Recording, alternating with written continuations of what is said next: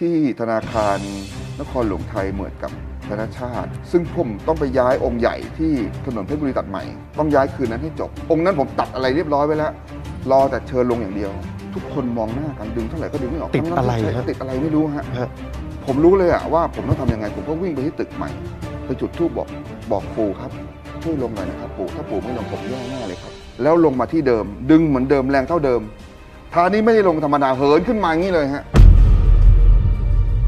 ช่วงนั้นก็เป็นช่วงสงครามครั้งที่สองหวอมาคือมีพูดง่ายมีเครื่องบินมาทิ้งระเบิด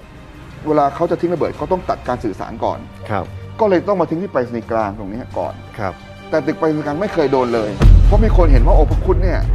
เอามือซ้ายข้างหนึ่งอะไปรับลูกระเบิดนะฮะโอ้โหนี่ขนลุกวาบเลยนะฮะครับแล้วเฟี้ยงไปในแม่น้ำเจ้าพระยา